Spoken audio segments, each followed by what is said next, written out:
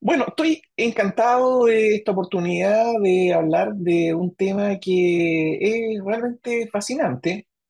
Eh, hace muchos años que la gente habla de que el software y la computación se tomó el mundo. Eh, bueno, sobre eso apareció la inteligencia artificial, que es aún más fascinante.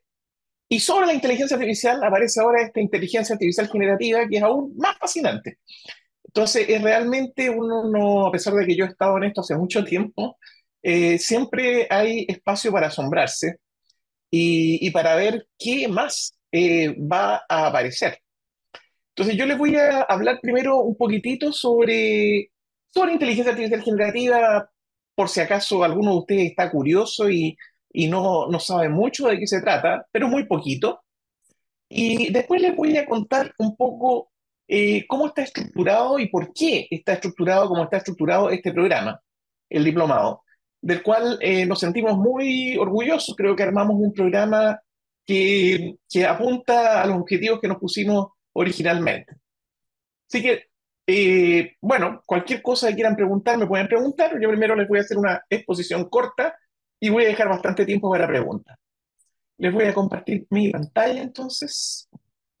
Bueno, eh, mi nombre es Jaime Labón y soy profesor del Departamento de Ciencias de la Computación de la Escuela de Ingeniería hace muchos años. Y les voy entonces a hablar de este diplomado de inteligencia artificial generativa. Entonces, ¿qué, qué es esto de inteligencia artificial generativa? Primero que nada, es un tipo de inteligencia artificial que nos permite construir aplicaciones capaces de producir contenido. Eh, tradicionalmente, la inteligencia artificial, eh, las aplicaciones que uno construía eh, con usando inteligencia artificial, por ejemplo, eh, nos permitían reconocer eh, imágenes, eh, aplicaciones, por ejemplo, capaces de reco- reconocer si un tumor es canceroso o no canceroso, o ayudarnos a tomar decisiones, pero no habíamos visto todavía eh, una inteligencia artificial capaz de generar contenido, producir contenido, por ejemplo, texto en lenguaje natural, código de programa, por ejemplo, escríbeme un programa en Python tal y tal, o incluso imágenes, también eh, se pueden generar videos. Eh, entonces, esto es lo que resulta muy asombroso para la mayoría de la gente. Eh, estas aplicaciones están basadas en grandes modelos. Estos grandes modelos se conocen por su sigla LLM o Large Language Models y son, al igual que todos los modelos de inteligencia artificial, son entrenados. Eh, Pero el volumen de datos que entra en el entrenamiento de estos, de estos, eh, de estos modelos no tiene precedente. O sea, pueden, pueden pensar ustedes, meter toda la Wikipedia, miles de journals científicos, toda la historia del New York Times. O sea, es una cantidad estratosférica de eh, data que es usada para entrenar. Y es por eso que eh, eh, estos, estos eh, modelos adquieren esta capacidad de manejar, primero manejar el lenguaje de una forma que no lo habíamos visto antes. Entienden lo que uno les está preguntando, responden con un lenguaje, son capaces incluso de traducir de un lenguaje a otro.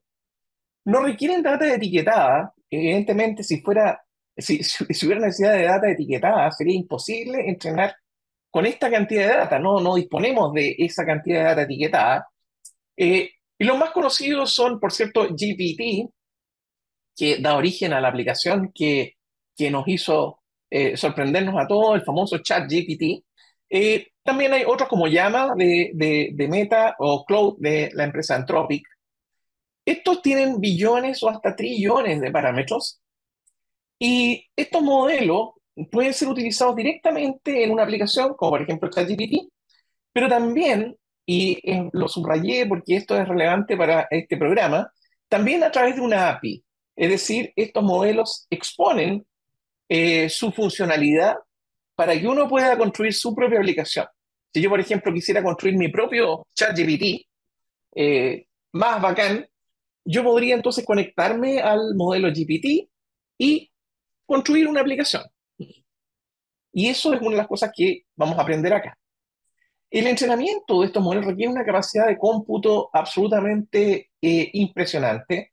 Esta es una noticia reciente de- del 30 de marzo, que Microsoft y OpenAI. OpenAI es la empresa que eh, produjo el modelo GPT eh, y que fue, esta empresa fue comprada en un 50% por Microsoft.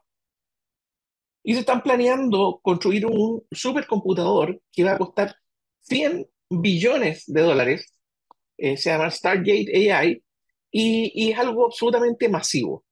Eh, ese es el tipo de cómputo que se requiere para poder entrenar estos modelos. No cualquiera puede hacerlo. Afortunadamente, no necesitamos nosotros producir uno de estos modelos, podemos usar uno que ya existe. El asombroso ChatGPT. ChatGPT, eh, ¿por qué le puse asombroso? Bueno, ustedes saben que eh, el ChatGPT es la aplicación, pero lejos, lejos, lejos, que más rápidamente llegó a tener eh, un millón de usuarios. O sea, hasta ese instan- instante se pensaba que, por ejemplo, Instagram había sido muy rápido, pero esto nos dejó eh, comiendo polvo. Realmente en, en- en unos días ChatGPT tenía un millón de usuarios. Y cuando ocurre esto, es porque esto es imposible lograrlo simplemente por una cosa como marketing o que está de moda. Es simplemente porque eh, la gente al usarlo por primera vez eh, se da cuenta que aquí hay algo eh, increíblemente poderoso. Acá les voy a poner un ejemplo, no, no, es un ejemplo que lo hice así sin mucho pensar, simplemente para transmitir la idea si es que alguien no ha usado esta herramienta. Aquí tenemos, eh, yo le puse, dame algunas ideas para un artículo sobre Chile. Y me pidieron escribir un artículo para un blog sobre Chile. Y aquí está la respuesta que me da eh, este, esta herramienta. Me dice ChatGPT, dice, claro, hay muchas áreas interesantes sobre las cuales podrías escribir un artículo sobre Chile. Aquí te dejo algunas ideas. Uno, patrimonio cultural chileno. Explora la rica historia y patrimonio cultural de Chile, puede centrarse en la cultura colonial, la influencia indígena, ta, ta, ta. Dos, turismo sostenible. Examina cómo Chile está abordando. Tres, innovación en ciencia y tecnología. Cuatro, cocina chilena. Y me da 10 áreas que me sirven como ideas. Fíjense que aquí está generando ideas. Dame algunas ideas.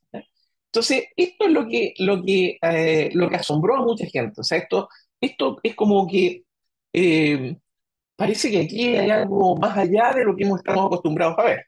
Y luego, entonces, aprovechando algo que también es nuevo, que es la capacidad de mantener el contexto, en la siguiente iteración yo le puse todo el tema de la cocina. No tengo que volver a decirle que se trata de Chile, eh, sino que le digo, toma el tema de la cocina y escribe un artículo corto. Y fíjense, además, le digo en un tono amistoso e informal. Acá está. Título. Deliciosamente chileno. Un viaje culminante por la cocina de Chile. Si alguien me dice que ese no es un buen título, es un título que yo lo encuentro excelente. Luego, fíjense el tono amistoso e informal. Amigos del buen comer y aventureros gastronómicos, prepárense para un viaje lleno de sabores, texturas y experiencias inolvidables. Hoy nos lanzamos a la fascinante travesía de descubrir los secretos culinarios de Chile, un país donde cada bocado es una obra maestra. Y luego va más allá, asado, más que una tradición, una religión. Pastel de choclo, maíz y amor en cada capa. Entonces, este, este artículo, cuando uno ve esto, eh, a mí me pasó, o sea, esto es, esto es lo más cercano que uno dice, no, acá tiene que haber un enano atrás escribiendo. Es imposible que lo haga un sistema computacional esto. Pues la manera como maneja el lenguaje, cómo entiende, cómo sugiere, cómo encontró el tono. Entonces uno dice, ah, pucha, esto realmente es algo distinto. Y si esto uno lo asombra, cuando uno va a la generación de imágenes, este es algo parecido, equivalente al ChatGPT, pero con imágenes.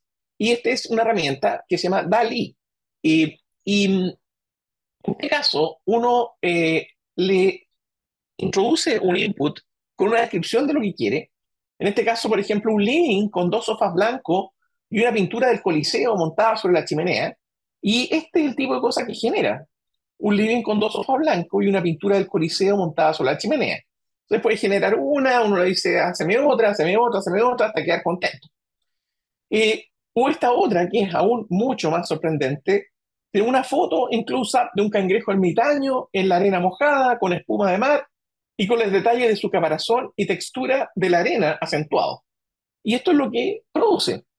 Entonces, eh, realmente uno dice, oye, eh, est- esto es, es realmente sorprendente. Entonces, ¿qué, qué, qué es lo que uno puede hacer con una, eh, una- con herramientas de este tipo?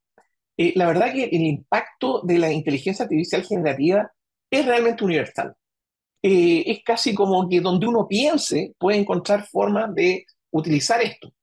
Por ejemplo, personas involucradas en actividades creativas, escritura de texto, prosa, poesía, obras de teatro, creación de letras para canciones, brainstorming para nuevos productos.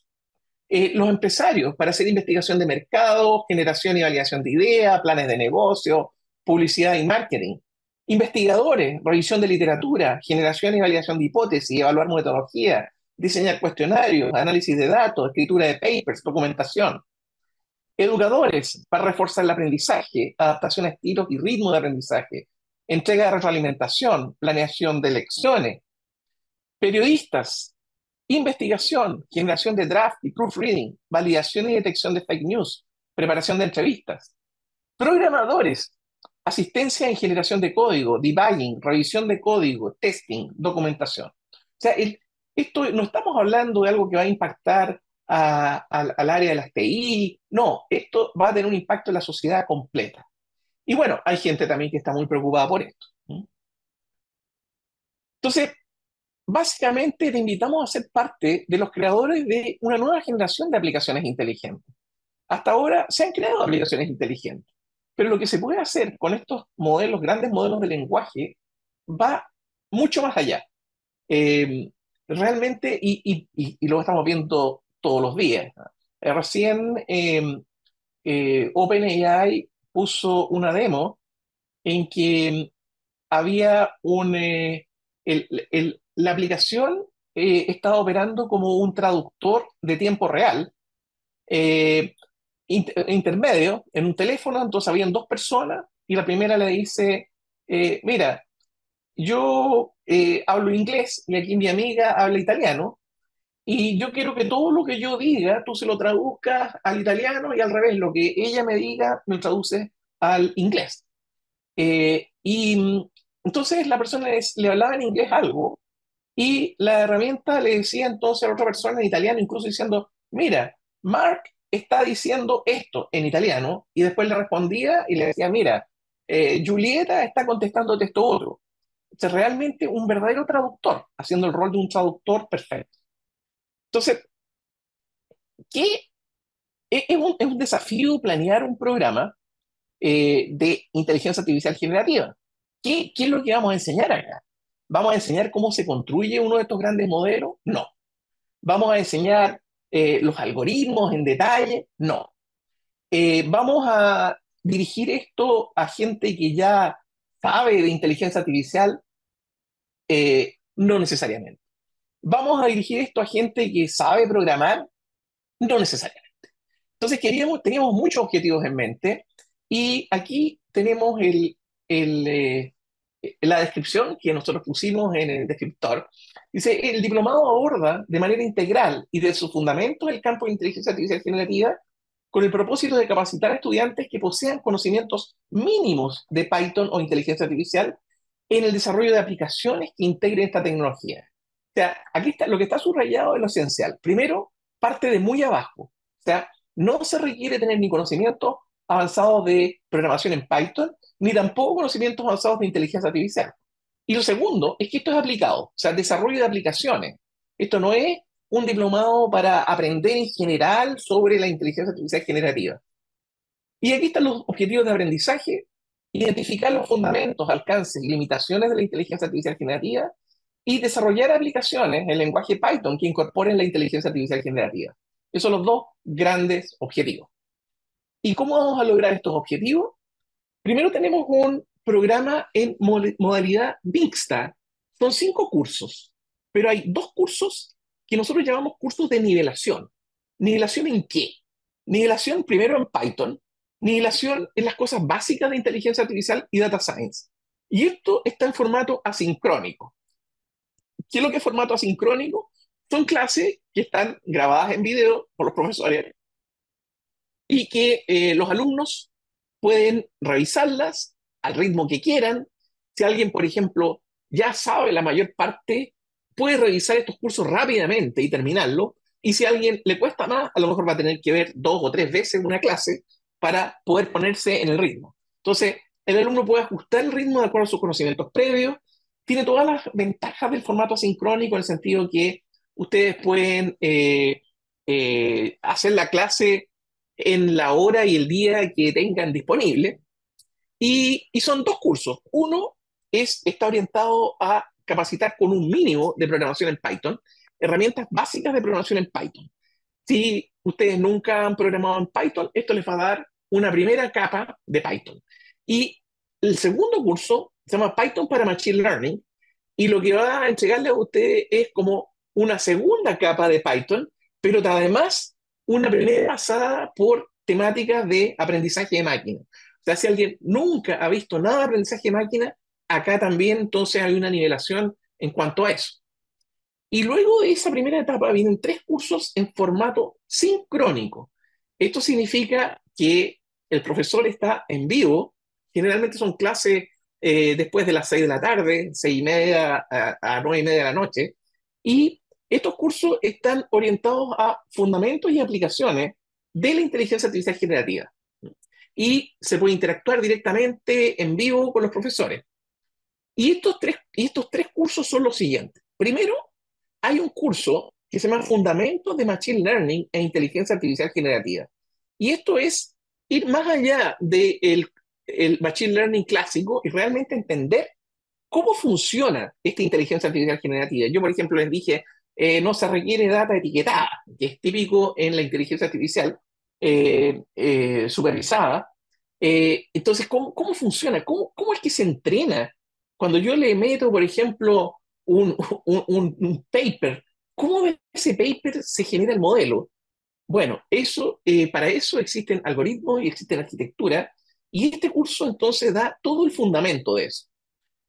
Luego, el segundo curso es aplicación.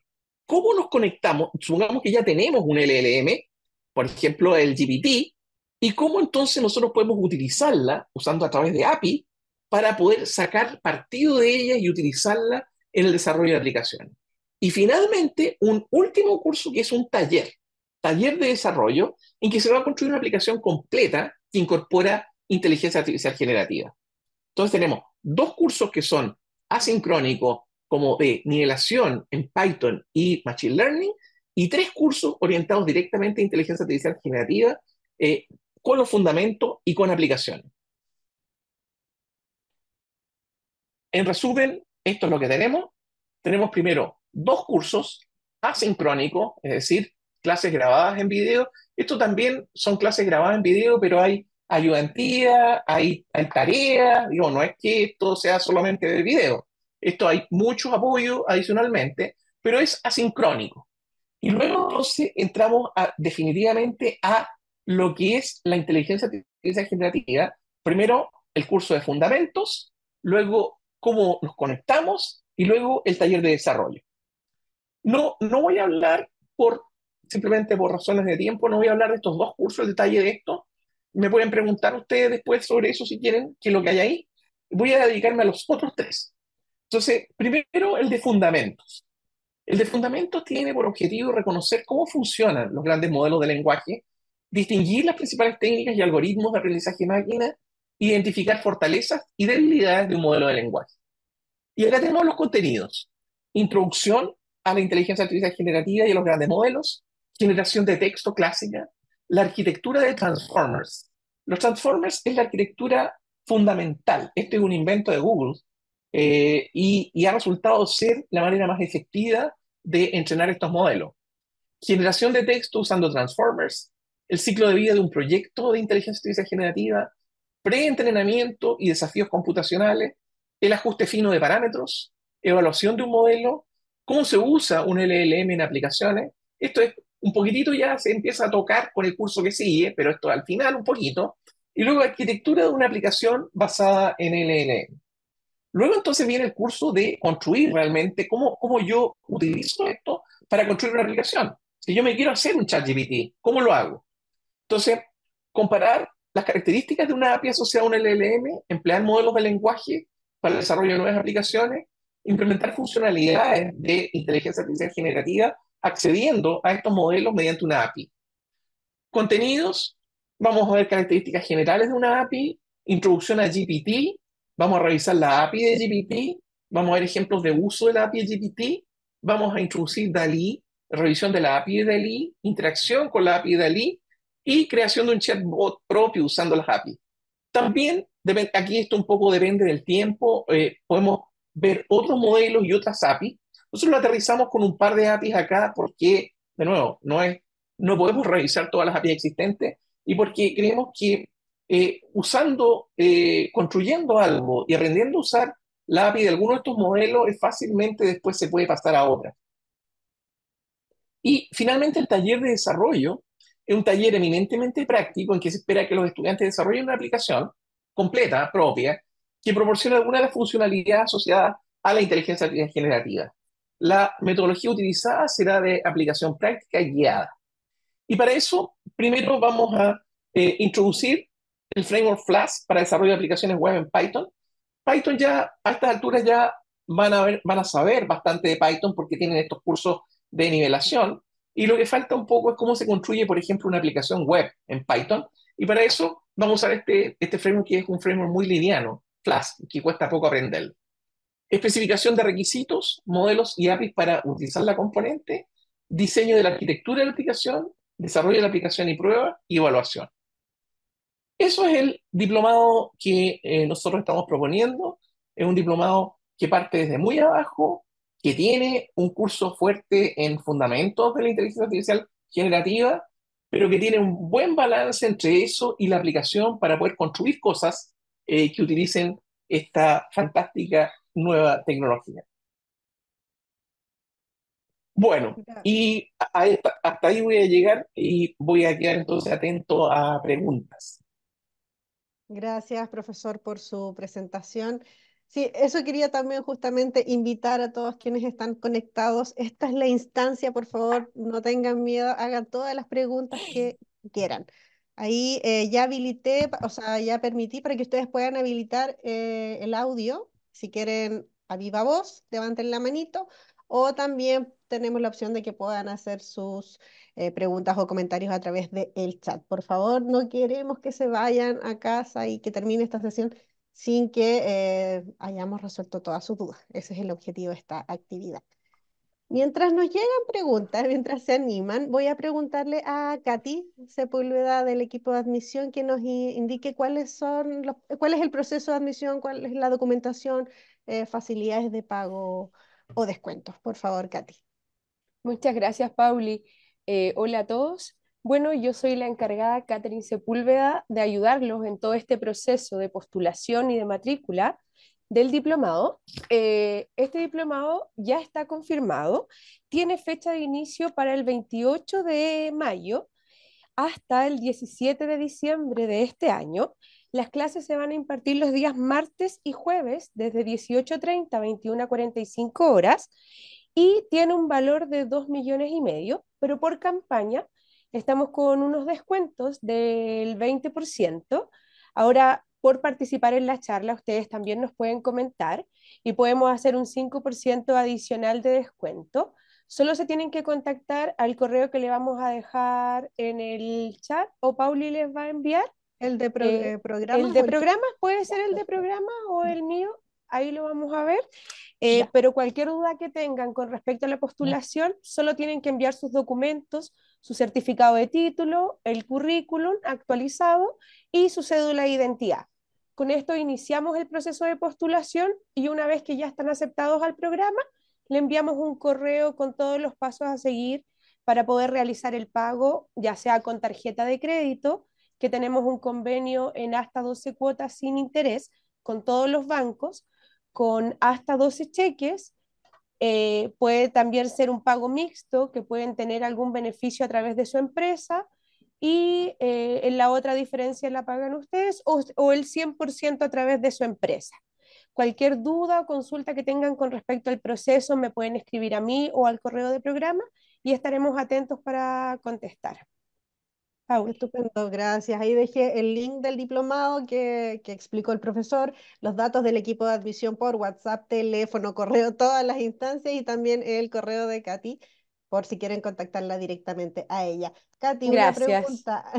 por tiempo, porfa, tiempo de estudio, nos pregunta Pedro, y costos para países del exterior. Eh, bueno, corre de la misma forma, ya sea para los alumnos de acá desde Chile y desde el extranjero.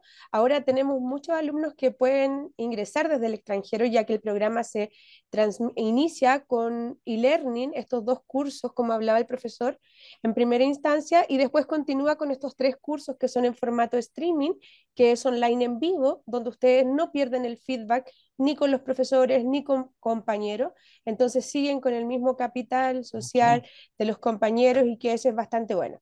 Corre de la misma forma tanto para alumnos desde Chile y desde el extranjero. Contamos con los mismos descuentos. Hay una pregunta de si se graban los síncronos. Sí, se graban los síncronos también. Así que si que de repente no pueden estar en una clase, la pueden revisar después. Y por cierto, está todo el material y y los síncronos tienen la ventaja de que hay un contacto permanente con el profesor, o sea, también pueden contactar al profesor y, pedirle a lo mejor algún material adicional si quieren. Está toda la plataforma. típicamente un curso síncrono tiene ocho, ocho sesiones de tres horas. Eh, entonces, eh, dado que se van a hacer clases dos veces a la semana, en un mes termina un curso más o menos, para que tengan una idea de los cursos síncronos. Eh, porque se hacen dos por semana más o menos y entonces es un mes de clase y son entonces uno a continuación del otro. Los cursos, en este caso los cursos eh, síncronos, tienen que ir en secuencia, porque primero tiene que ir el de fundamentos, luego el de construcción de API y luego el taller. No, no, no los podemos cambiar de orden, así que eh, ni tampoco podemos hacerlo en paralelo. Eh, está, está, realmente esto está, le hemos dado muchas vueltas para llegar a esta solución eh, que responda a todos los objetivos que nos pusimos en un comienzo. y como les decía, el tema de, esto de qué, es mejor, ¿ah? eh, sincrónico o asincrónico, y cada uno de esos formatos tiene sus ventajas y sus desventajas. Ah, a nosotros nos pareció que en, el caso del inicio, es decir, Python y, y, cómo partir con eh, Machine Learning, era mejor dejarlo eh, no síncrono, sino que asíncrono. Y, y, luego entonces dejarlo en vivo de modo que se pueden aclarar las, las, dudas mejor, consultar con el profesor. Además, hay un taller acá, entonces es, mucho más adecuado ese formato. Em, eso. Gracias. ¿Podemos reiterar igual, porque nos hace una consulta, cuál es eh, la duración total? La Katy me parece que dijo ese, ese dato. Son aproximadamente siete meses, ya que inicia el 28 de mayo y termina el 17 de diciembre. Perfecto, gracias. Y nos preguntan si los asincrónicos hay consultorías. En los asincrónicos sí hay, hay, hay, hay, no sé si consultorías o ayudantías, como los llamamos, pero sí hay. Eh, son, eh, generalmente hay una antes de cada trabajo práctico, porque hay, hay trabajo práctico. Entonces se hace una antes de cada trabajo, como que lo pueden hacer con con, eh, con forma más efectiva. Pero sí, sí hay. Estupendo.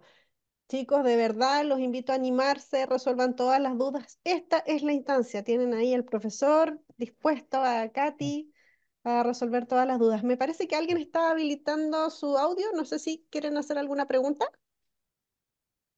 ¿O fue solo que se les pasó a llevar nomás? Mm. Parece que no. Sí, es una, es, una gran, es una gran oportunidad. Yo realmente los invito a, a ser como los pioneros, porque todavía hay poca gente que sabe. Hay gente que ha explorado el ChatGPT y te dice, mira, yo sé usar ChatGPT. Pero otra cosa muy distinta es ser capaces de usar este tremendo potencial que hay y que aumenta todos los días. O sea, estos modelos, recién eh, salió el GPT-4o, el GPT-5 está saliendo. Entonces, cada vez hay más y más elementos, y hay varios modelos, eh, y están ahí para sacar partido de ellos. Entonces, eh, la, usar la inventiva que tiene cada uno para construir, ¿eh? inventar soluciones o inventar aplicaciones, sacando partido de ellas. Y hay poca gente que es capaz. Incluso, por ejemplo, si nosotros miramos ingenieros en- de software que han salido en los últimos años, nadie tiene los conocimientos para hacer esto, porque esto es demasiado nuevo. Entonces, es, es una, una buena oportunidad realmente de subirse a esta micro eh, y empezar a hacer cosas entretenidas. Bien, ¿puedo Eh, hacer una pregunta? Por supuesto. sí, Ya, el, porque con el tema del happy, eh, esa va a ser nuestra forma, sería la forma de interactuar con la inteligencia artifici- artificial generativa. Y, y ahí utilizarí- utilizaríamos eh, la información genérica que tienen esto, no algo personal, por ejemplo. ¿Ya? Esa no, sería una nosotros no, sí, sí, no, nosotros no vamos a construir modelos propios. Eh, nosotros vamos a usar modelos que ya existen. Es un buen punto, porque eso tal vez podría ser un curso adicional. Eh, aprender después cómo, eh, cómo uno puede, por ejemplo, tomar uno de estos modelos y, y- y agregarle o customizarlo. Eso no lo vamos a ver nosotros acá. Es que queríamos terminar en un, en un, cantidad- en un tiempo más o menos acotado. se, se entiende perfectamente. Y lo otro es, eh, ¿las APIs son eh, gratis o nos van a dar licencia? ¿Cómo es eso? No, no les vamos a dar licencia, pero el- lo, lo que, lo que ustedes van a usar en realidad es bien poco. O sea, eh, van a, van a, van a necesitar ustedes eh, tener una suscripción de la API. Ustedes saben que esto se cobra de acuerdo al uso. Eh, y, si, y- si ustedes lo usan en términos de cómo está pensado en este curso, es muy poco lo que van a gastar acá. Eh, nosotros queremos que realmente motivarlos a que ustedes abran una cuenta y la tengan para que hagan más cosas más allá de este curso. Entonces, eh, si ustedes realmente tienen intención de construir esto, yo creo que eh, hay que tener una cuenta. ¿m? Y, y como les digo, o sea, si uno va a usar esto en una forma como industrial, eh, ahí sí puede la cuenta subir un poco, pero usarlo así, yo por ejemplo que lo uso solamente para, no, no, no, no me dedico a esto, lo uso solamente para enseñar. La verdad es que es muy, la cuenta es muy, muy pequeña. Y, y solamente esto se va a usar solamente en los últimos dos cursos, es decir, en el curso de, de la interacción con la API y en el proyecto final. Va a ser, va a ser muy acotado, pero sí, van a necesitar tener eh, una, una, una suscripción. Perfecto, gracias. Ahí Eh, también respondemos la, la duda de Mick Miklos. Eh, Katy, Pedro nos pregunta, ¿el pago del total se hace mensual? Bueno, el diplomado tiene que estar cancelado en su totalidad al inicio para poder quedar matriculado. Esto, si lo hacen con tarjeta de crédito, pueden pagar, como les mencionaba, en hasta 12 cuotas sin interés, pero es algo que ustedes ven con su banco. Nosotros tenemos que eh, tener el diplomado documentado, ya sea con hasta 12 cheques, con una orden de compra o con tarjeta de crédito en hasta 12 cuotas sin interés. Ahora, si eres del extranjero, solo para las personas que viven en el extranjero, tenemos la posibilidad que puedan ingresar al diplomado eh, con hasta seis cuotas sin interés, pero tienen que ponerse en contacto con alguno de los ejecutivos para poder entregarles bien la información, pero solo desde el extranjero, porque el pago es en dólares, ¿ya? No sé si quedó conforme con la respuesta. No sé, y vamos a invitar a que nos diga si a Pedro si está ok o no, o si tiene más dudas. Voy a hacer otra pregunta que nos llegó sobre el taller final, profesor. ¿Mm? Em, ¿qué alcance tiene? Me explico, ¿puede hacerse una aplicación seria e importante o no es la idea, por ejemplo, una aplicación que permita aplicar eh, ah, inteligencia artificial Eh, generativa, se me había olvidado la sigla, de una sí, planilla Excel? sí, mira, eh, ¿me escuchan? Estoy medio congelado, parece. Sí, ahí se nos, se nos había congelado. De nuevo parece que se nos congeló, ¿no? Soy yo, o es mi conexión. No, me parece que profesor está congelado. Katy, ¿tú lo ves bien al profe o soy yo? No, está congelado. Quiero avisar a Pedro que cualquier cosa me eso. escriba al correo, perdón, Pauli, No, no dale. quedó claro, pero me di cuenta que es desde el extranjero. Entonces, para entregarle más información, que me escriba, porque como es el pago en dólares, tenemos otras instancias que lo podemos ayudar. Y ahí está. ¿Cuál es el correo? El correo, voy a dejarlos nuevamente. El correo de Katy es, acá está, Katy. Y también vamos a dejar eh, los datos del equipo de admisión. Como pueden ver ahí eh, eh, detrás de Katy, ahí hay un equipo de profesionales dispuestos a responder todas las consultas. Ahí están en el computador, ahí tecleando, porque están ahí dispuestos a, mm, a asesorarlos en lo que necesiten. Me parece que el profesor se desconectó, ¿no? Sí, se tuvo que haber caído la conexión. Sí, porque yo no lo veo. No, no lo vemos. Esperemos un, un, minutito porque generalmente, bueno, estas cosas pasan, es frecuente. Desde la pandemia nos dimos cuenta de que conexiones se caen. Así que esperemos un segundito para que el profesor pueda conectarse nuevamente.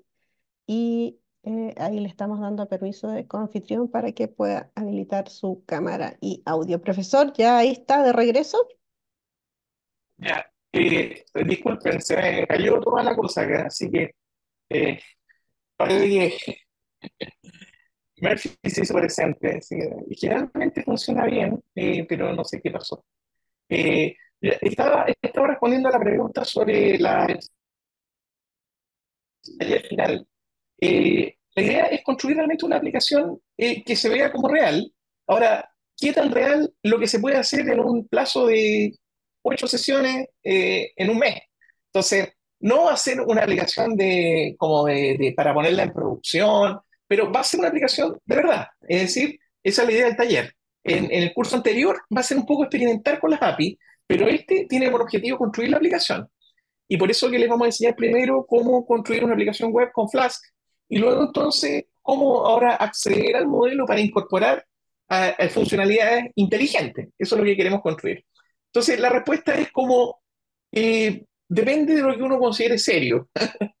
eh, va, a ser una aplicación eh, completa, funcional, y va a depender un poco de, de, cada uno. O sea, yo creo que va a haber un poco de libertad en cuanto a qué es lo que cada uno quiere hacer. Ah, no necesariamente todo para hacer el mismo proyecto, pero la idea es que sea una aplicación de verdad, ¿ah? una aplicación que no, no sea solamente un experimento, eh, sino que realmente algo que funcione. Eso. Perfecto. Y limitado al tiempo que tenemos ahí. O sea, ustedes saben que cuando uno está desarrollando, el tiempo se hace nada. Entonces tampoco se puede ser demasiado ambicioso. Perfecto. Ahí Carlos eh, Valtierra nos había preguntado por si al contado hay algún descuento, Katy. Eh, podemos eh, realizar, como le mencionaba, por la charla el 5% de descuento adicional, que quedaría un total como de un 25% de descuento. Perfecto. Y Oye, Pedro, Martínez quiere saber qué universidad, si es una universidad seria. Eh, eh, sí, eh, Pedro, para tu tranquilidad, la Universidad Católica de Chile, tengo entendido que somos la número uno de Latinoamérica y si no es la número uno, la número dos. siempre peleamos los primeros dos lugares. hay mis colegas de la Universidad de Chile me disputarán que si es la uno o la dos de Chile, pero claramente es una de las dos mejores universidades de Chile. la uno de Chile. la uno de Chile la, está entre las mejores de Latinoamérica, es una muy buena universidad. Sí, ahí eh, en nuestro sitio también están todas eh, como los elementos diferenciadores, nuestras ventajas, efectivamente siempre eh, salimos dentro de los primeros puestos de ranking. La escuela tiene más de 130 años, o sí, 130 años, tenemos bastante trayectoria, eh, profesionales destacados en la academia y también expertos de la industria, entonces es aquí, es el lugar para que puedas aprender.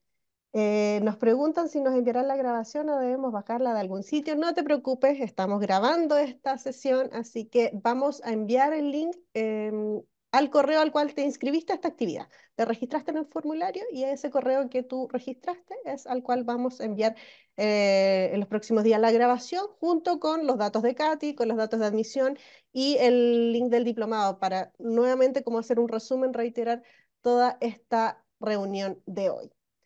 Excelente, no sabía que era la Universidad Católica. Perfecto, Pedro. Nos encanta que te haya quedado muy claro. Em, Carlos Valtierra nos pregunta, nos pregunta, ¿se tiene pensado hacer un diplomado más orientado a la creación de modelos generativos propios, como continuación, por ejemplo? Sí, este, se está evaluando, ¿ah? Está hablando de hacer un diplomado más orientado a un, un- en el sentido más técnico. Eh, pero por ahora el proyecto todavía.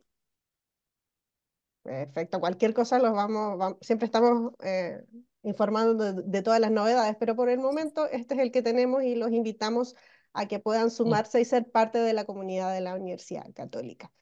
Eh, no sé, chicos, si alguien más tiene alguna otra pregunta, nuevamente insisto, háganla, es el momento, estamos aquí cara a cara, bueno, o voz a voz, para que puedan resolverla.